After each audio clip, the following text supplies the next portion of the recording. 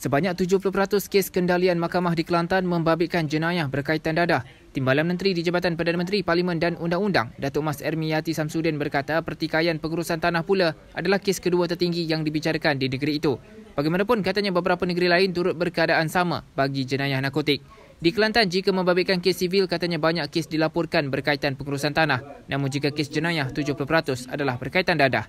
Beliau berkata demikian pada sidang media selepas melawat kompleks Mahkamah Kota Baru pada Kamis. Sementara itu, ketika ditanya insiden pergaduhan yang berlaku di Mahkamah Tinggi Shah Alam baru-baru ini, Mas Ermiyati berkata beliau memandang serius perkara berkenaan dan kawalan keselamatan di semua mahkamah di Malaysia perlu dipertingkatkan.